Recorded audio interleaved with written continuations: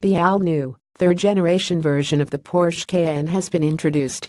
But it does not look very different from the second-generation model, which also has similar styling to its predecessor, the first Porsche sport utility vehicle.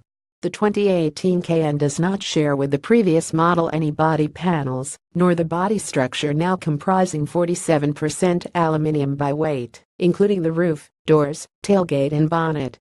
I had to look carefully to spot the differences in exterior design. A light strip between the taillights, like that on the new Panamera, is the new Cayenne's most distinguishing design feature. And if you are overtaken by one, you will also notice an active rear spoiler at the top of the tailgate.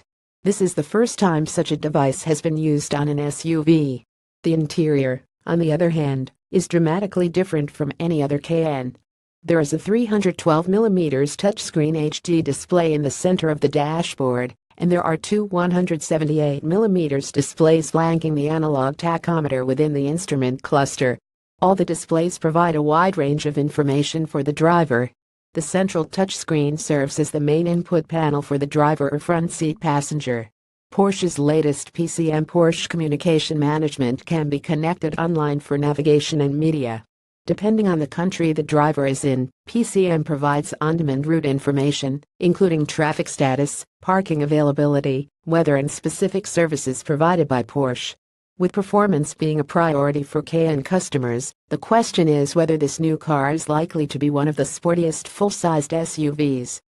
All the engines are new and turbocharged, the base Cayenne comes with a single-turbo 2995cc V6 engine that produces 340 bhp and 450 Nm, the torque staying constant between 1340 rpm and 5300 rpm.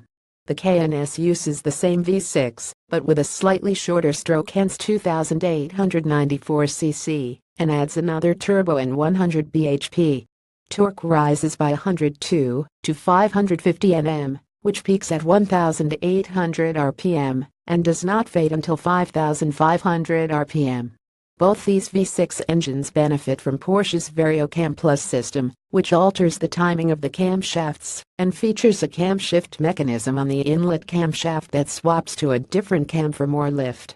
Just introduced last week at the Frankfurt Motor Show is the flagship Cayenne, its 3996cc biturbo V8 is a highly respected member of the Volkswagen Group engine family, having provided the Bentley V8, Audi RS6 and Porsche Panamera Turbo with supercar levels of performance tuned for 550 bhp from 5750 to 6000 rpm and 770 Nm 1960 to 6000 rpm. The 2175 kg Cayenne turbo sprints to 100 km/h from a standstill in 4.1 seconds.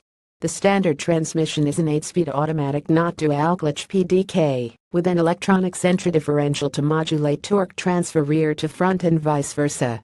A new brake disc surface coating has also been introduced with the new Cayenne Turbo. The cast steel disc is coated with a 0.15 mm layer of tungsten carbide plasma, making it corrosion resistant and looking almost mirror finished after 600 kilometers of usage. At a testing facility outside Dusseldorf, Porsche presented technical details of its new Cayenne. I was not allowed to drive the car, but as part of the workshop, I was driven through a gravel-filled, rocky and undulating terrain, then a high-speed tarmac course. The wet weather played a significant role in showing off the Cayenne's uncanny off-road ability. It was even more impressive on the wet and sinuous circuit, with the Porsche trained drivers all with professional racing experience obviously enjoying themselves, while drifting the Cayennes on some of the curves.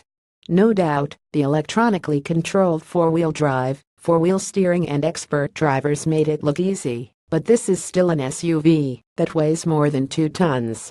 The rider contributes to Torque, a motoring monthly published by SPH magazines.